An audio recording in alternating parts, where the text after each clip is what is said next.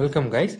In this video, we are going to learn the projection of lines problem case 5 and problem number 7. Uh, here, the final projector will be look like a straight line theta plus pi equal to 90 degree.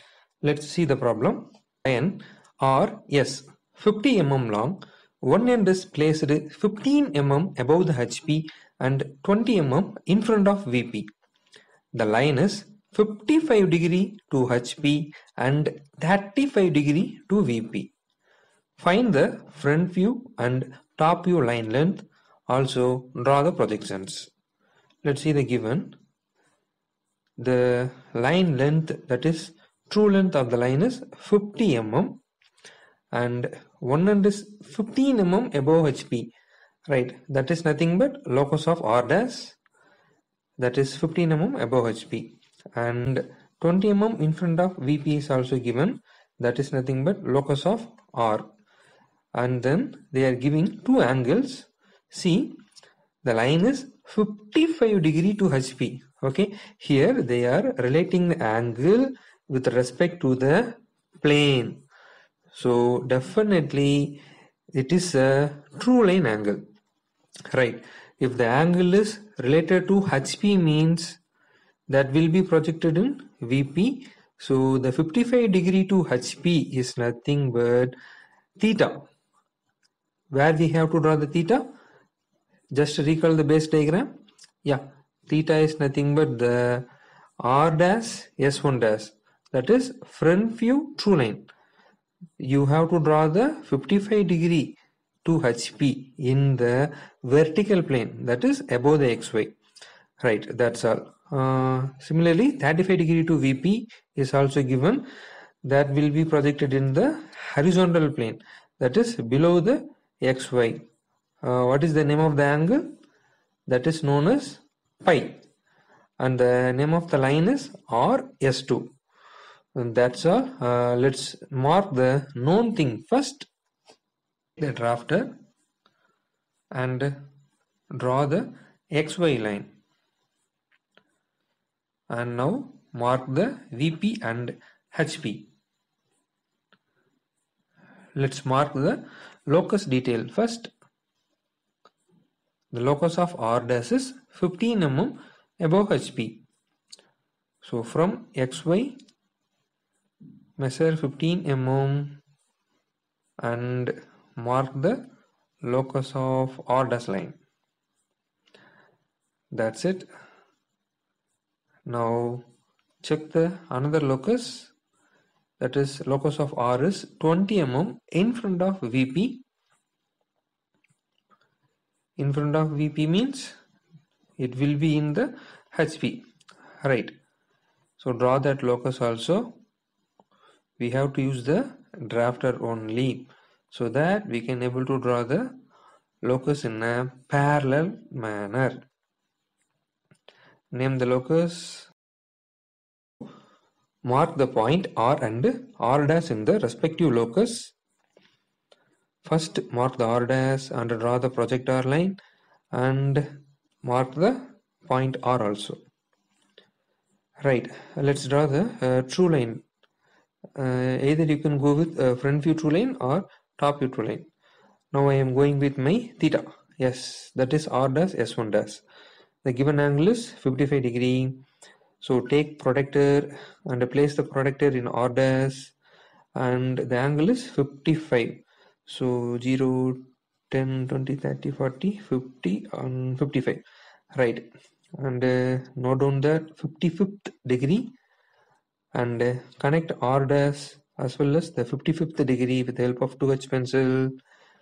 We know the length of the true line also, right? So theta is nothing but true line angle. We know the length that is R is true length is 50 mm, right? Uh, take 50 mm in compass or in scale and mark the distance in the respective line. Yeah, that's it that is our point. S1 dash. Immediately draw the locus with the help of the drafter. Right you have to use 2h pencil. Right you may know all the things uh, which type of a pencil we have to use for the lines. Right and name the locus. That is the locus of s dash. That's it. Similarly repeat the same. Just repeat the same for top view also we are having the angle. That is uh, pi 35 degree. Place the protractor in R and measure the angle. 10 20 30 uh, and this is my 35th degree. Just connect the 35th degree to the point R with the help of 2H pencil and mark the angle. Yeah we know the length. That is 50 mm from the point R measure 50 mm and mark it. That is another end of our true line. What is the name of the point? That is S2 that's it. Draw the locus with the help of drafter and name the locus. Locus of S. That's all. That's all. So up to now uh, we have marked the uh, locus details as well as uh, front view true line as well as top view true line. That's it. What is the next step? If we are processing with the true length mean true true yeah. First we have to draw the perpendicular line and then we have to make our that's it. Our base diagram. Uh, but I have created this base diagram with the help of a capital AB naming. So that is no issues. Just to follow the sequence.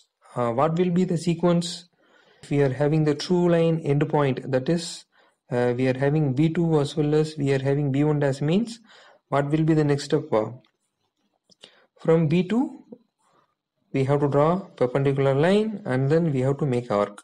Similarly from b1 dash we have to draw perpendicular line and then we have to make arc. That's it. See the locus sequence. From b2 right uh, that is in locus of b from locus of b to locus of a dash i have created a perpendicular line right?